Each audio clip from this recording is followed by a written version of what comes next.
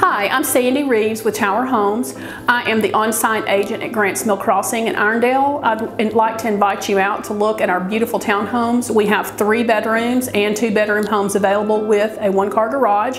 Our prices start in the 190s and like I said, I would just love for you to come out and take a look at the homes and meet with myself or my sales partner Matthew Lepore. We are on site seven days a week.